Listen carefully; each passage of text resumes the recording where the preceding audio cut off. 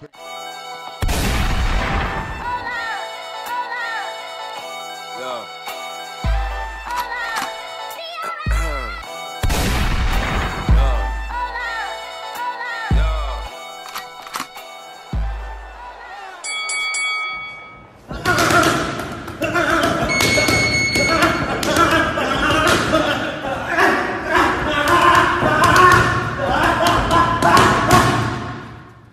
Welcome to Hitman Boxing. And hit that like and subscribe button. Adrien Broner looking slow as shit in that clip. But he's already started training for the Manny Pacquiao fight. And let me just make a correction from the last video. Manny Pacquiao versus Adrien Broner will take place on January 19th in Las Vegas. So I said February, it's really in January. It is what it is. Gives, you know, it's a little something to somewhat look forward to though depending upon what side you're on. I mean, if you're Adrien Broner fan, which I'm sure there aren't too many of you guys out there left, you're hoping that he has the. I don't even know what to say good about Adrien Broner, but you know, at this point in both of these guys' careers, I would say that Adrien Broner is the more athletic. Man, I can't say this shit without without laughing. Adrien Broner has all the tools needed to beat Manny Pacquiao. However, he doesn't know how to use the tools in his toolbox to beat Manny Pacquiao. You feel me? You understand what I'm saying? He gonna go in there, he gonna get his ass beat, all right? Now, Manny Pacquiao's coming off of a win against Lucas Matthysse, a shot fighter. So he looked amazing against Lucas Matthysse quitting ass, right? Because we know Matthysse like to quit, and he quit in that fight against Manny Pacquiao thus making Manny Pacquiao the fake WBA champion of the world at 147, who should really be fighting Keith Thurman, but he shook. And you know, Al Haymon over here protecting this guy on PBC, doing this exact same shit that Bob Arum was doing over at what was that? Top rank. But the only difference being is top top rank was at least trying to or Bob Arum was at least trying to match him up against Terence Crawford, but of course Pacquiao wanted a shitload of money to fight Terence Crawford. Now, he figures he can go in here and beat the living shit out of Adrien Broner, and I believe that too. I believe that's going to happen, but all Adrien Broner got to do is let his hands go. He's fast enough. You know, he, he's fast enough. His hand speed, eh, he got punching power. Where he's he got all again, he got all the tools, but he shook. He'd be scared as shit to let his hands go. That's all you gotta do is let your hands go against Pacquiao, and you can have a good chance at beating him. That's all I'm gonna say about that, you know? But Pacquiao, he's out to beat Broner and of course get that rematch with Floyd Mayweather. So he can get that money. Now both of these guys have a lot to lose. Can you imagine Adrien Broner beating Manny Pacquiao and setting up a fight with him and uh, Floyd Mayweather? That'd be crazy, right? But I, I beg to differ. This is going to be a, a fight that Pacquiao wins. And, you know, halfway through the fight, if it goes 12 rounds, I, I would assume that Adrien Broner is going to be discouraged and he's going to give up. You know, like he always does.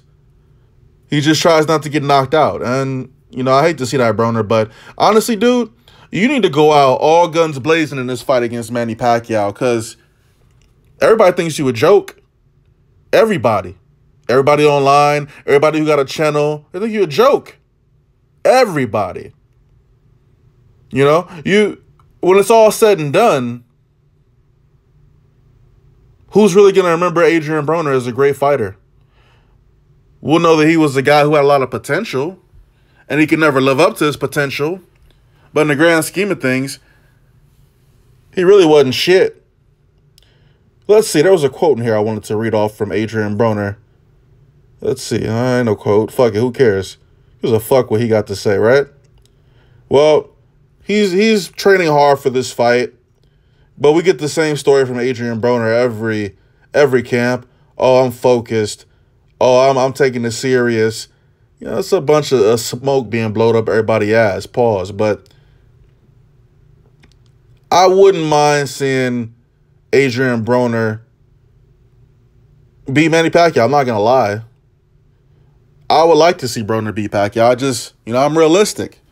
You know, I'm realistic in what I expect of Adrien Broner, and I expect him to lose. This will be his what fourth loss? He lost to Maidana first. Uh, who did he lose to after that? It was Maidana. Damn, hang on a second. Let me let me let me without looking this shit up. He lost to Marcos Maidana. I'm not gonna do this in order. He lost to Mikey Garcia. Oh wait, Maidana, Porter. Then he lost to Mikey Garcia. So that's three losses. This is about to be number four. You got to count it because we all think Pacquiao washed up anyway. So you should be losing to washed up fighters when you way younger than him by at least ten years. You know, but hey, if you want to if you want to bet and be stupid, Put your money on Adrien Broner. Put your house up so you can be homeless betting on Adrien Broner. I have no faith in this guy. But again, it's just refreshing to see Manny Pacquiao fight somebody other than Timothy Bradley or Juan Manuel Marquez. And, you know, I get he fought Jeff Horn. I still think he got robbed against Jeff Horn personally. You know, he took a loss to Jeff he lost to uh, who else he lose to? That's about it, right? He lost to Mayweather, then he lost to Jeff Horn. Who did he fight in between? Damn, I can't remember. I think he fought I think he fought Jeff Horn after the Mayweather loss. I could be wrong. He dubbed Mike Alvarado. uh Pacquiao beat Lucas Matthysse. How many fights did he have after Pac after uh, Mayweather? Horn, Matthysse. Damn, let me go to this box circle real quick. I know I gotta be missing something, right? Manny Pacquiao. No doubt Manny Pacquiao's gonna be a Hall of Famer when it's all said and done, but you know. I'm not looking forward to Pacquiao with PBC if he's not gonna fight the the champions over there. But I guess you gotta pay this guy the money and you got to preserve him for as long as you can. He's 39. Shit, man. Pacquiao got a slave deal. You've been boxing for your whole motherfucking life. So after, oh shit. Okay, I'm tweaking. He did beat Timothy Bradley. That was that that shit where Timothy Bradley was getting knocked around the fucking ring and doing cartwheels and shit in the ring. I remember that shit. He beat his ass. Then he beat the fuck out of Jesse Vargas. I put money on that fight. I remember that. Okay, then Jeff Horn then he beat the shit out of Lucas Matthysse. Aha. Okay. Damn, Pacquiao got a lot of motherfucking fights. This motherfucker fought 69 times? That's, you, you need to give it up. You need to just, you need to give it up. Because they're to try to put you in there with Mikey Garcia probably. But he got a two-fight deal from what I understand. So after that shit, you need to fucking retire after you get your ass beat by Floyd. I'm not paying a dime for that shit. Not paying a dime to watch you fight Floyd Mayweather and dance with his ass, and I ain't paying a dime to watch you fucking beat the shit out of Adrien Broner. Hitman Boxing, again, Adrien Broner's training for this fight against Manny Pacquiao. Shit got real. Hitman Boxing, I'm out.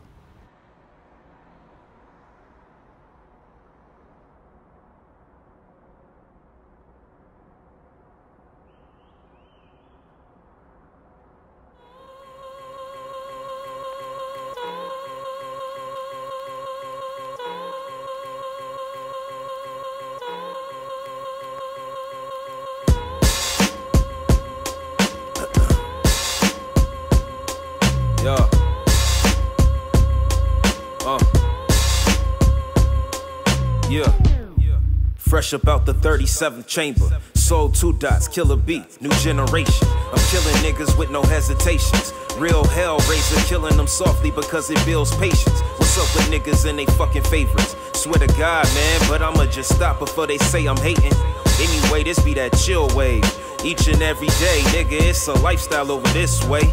Along with getting blazed, talking to some slimmies. Sophisticated conversations while drinking some Henny or maybe some Irish whiskey if they wanna get down. Let's smoke a pound, smoke green, show us skills with a mouth. I'm on a different type of level than niggas getting they shine. All about that rah rah. I'm here to captivate the minds, turning niggas into zombie fans. A cult following that knows I get it poppin'. Just call me the showstopper, man. I'm Midwest till the fucking end. Subtracting bitch ass niggas from my life to get these dividends. I'm dope, hype, fresh, there's no contest. Follow your feather, but it's never lifting. You was the best. I got these Ferrari dreams with the top down, nigga. Blowing tree, cruising through the fucking south side, nigga. Lots of hype beats strolling through my timeline, nigga. I just leave them where they at and focus on these figures. I be the old Mr. Grump, really just don't give a fuck about these niggas' feelings. In my opinion, they fucking suck. Yeah, and if they want it, they can see me, bruh. I'm riding solo everywhere, consider that a fucking dead. These niggas scared of competition these days. Fuck a card, I pull your page, so you better behave. I'm an angry nigga, shake me, watch me fucking explode. Like a champagne bottle that just dropped on the floor. It's a whole lot of niggas that can't fuck with my torch. A bunch of pussies, they ain't never stepped a foot off they porch. I'm on a genocide mission to exterminate these fucking fakes. Walking with this proton pack, blowing my cares away. I ain't finished yet, serious like Korea threats. Throwing out these slurs every minute like I got Tourette's.